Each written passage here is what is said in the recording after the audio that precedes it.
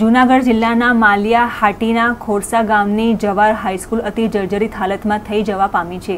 આ હાઈસ્કૂલ ઓગણીસો ચોસઠમાં બનેલ હોય, જેમને ઘણો સમય વીતી જવા પામ્યો હોય, જે શાળાના ઓરડાનું આયુષ્ય પૂર્ણ થવાના ગાળે હોય, સ્કૂલના ઓરડાઓ પેલાના સ્ટ્રેકચર મુજબ સાદી રીતના નળિયા અને સદા પથ્થરોના બનેલા હોય ત્યારે ઘણો સમય જતાં આ ઓરડાઓ દિવાલોમાં તિરાડ પડી જવા પામી છે અને કેટલાક ઓરડાઓ તો ધરાશય પણ થઈ જવા પામ્યા છે. હાઈસ્કૂલના ઓરડામાં ભયની ભીતિમાં વિદ્યાર્થીઓ શિક્ષણ લઈ રહ્યા છે. એક તરફ છે ડર તો બીજી તરફ શિક્ષણનો સવાલ. આખિર વિદ્યાર્થીઓ પણ કરે તો શું કરે?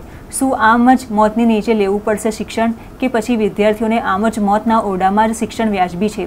શું કોઈ મંત્રી છે કે ધારાસભ્ય આ બાબતની તજવીજ લેશે કે કેમ? આખરી મોતના ઓરડામાં શિક્ષણ લેતા વિદ્યાર્થીઓના જીવનું જોખમ જવાબદાર કોણ? શિક્ષણ ક્ષેત્રની મોટી મોટી વાતો તો થાય છે, પણ શું ખરી રીતે આ બાબતે તજવીજ લેવાશે કે કેમ? એ તો હવે જોવું જ રહ્યું. આખરે મોતના ઓરડામાં શિક્ષણ લેતા ભાવિ ભવિષ્ય ઉપર કંઈ થવા પામે, તો એનો જવાબદાર કોણ?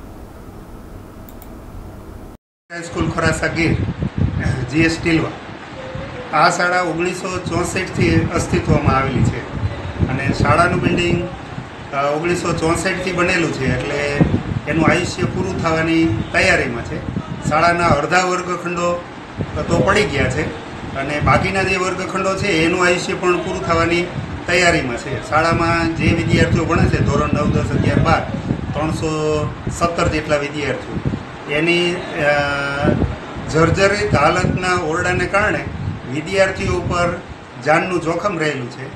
અને સંસદ સભ્ય, આ વિસ્તારના સંસદ સભ્ય રાજેશભાઈ ચુડાસમા પોતાના હોદ્દાની રૂએ જે સંસદ સભ્યની ગ્રાન્ટ છે, મળે એ જો શાળામાં વાપરે અને ગ્રામ પંચાયત પણ પ્રયત્ન કરે તો શાળાને સારામાં સારું બિલ્ડિંગ મળી શકે.